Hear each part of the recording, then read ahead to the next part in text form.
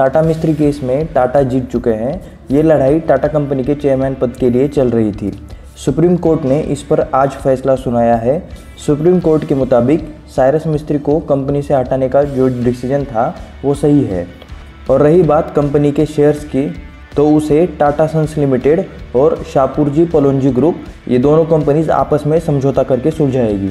N ने पहले ही यह आदेश दिया था कि साइरस मिस्त्री को टाटा समूह का एग्जीक्यूटिव चेयरमैन बना दिया जाए।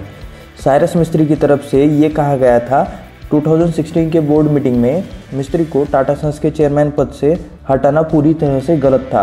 ये कंपनी मैनेजमेंट रूल के खिलाफ था। दूसरी तरफ़ टाटा सन्स ने इन आरोपों को खारिज करते हुए ये कहा था कि मिस्त्री को चेयरमैन पद से हटाने का डिसीज़न पूरी तरह से रूल्स को फॉलो करते हुए लिया गया है और बोर्ड ने अपने अधिकारों का इस्तेमाल करते हुए ये किया है। 28 दिसंबर 2012 को साइरस मिस्त्री को टाटा ग्रुप का चेयरमैन बना दिया गया था, लेकिन 2016 में मिस्त्री को चेयरमैन पद से हटा दिया गया। इस पर टाटा ग्रुप ने यह कहा था कि ये कंपनी के अच्छे के लिए ही किया गया है।